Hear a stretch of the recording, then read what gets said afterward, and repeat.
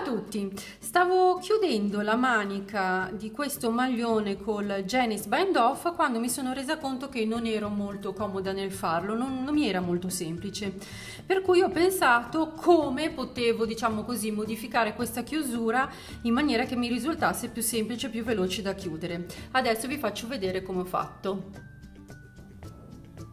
La chiusura originale a dritto è così si lavora una maglia, si getta a rovescio, si lavora un'altra maglia e si accavallano le, la maglia e il gettato sulla maglia appena lavorata. Quindi un gettato a rovescio, si lavora dritto e si accavallano.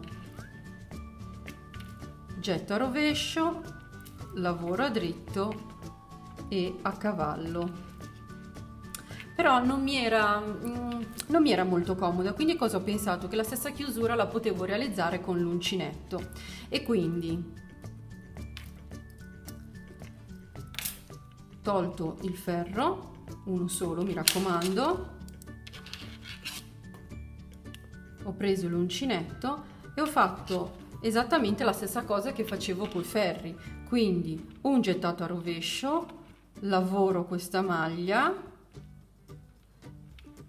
e con l'uncinetto chiaramente non a cavallo ma è come se facessi ehm, una, una maglia normale ad uncinetto. Quindi gettato a rovescio lavoro una maglia e a cavallo gettato a rovescio lavoro una maglia e a cavallo gettato rovescio lavoro una maglia ops scusate lavoro una maglia e a cavallo. Adesso finisco eh, miei le mie maglie tutta la mia chiusura e vi faccio vedere.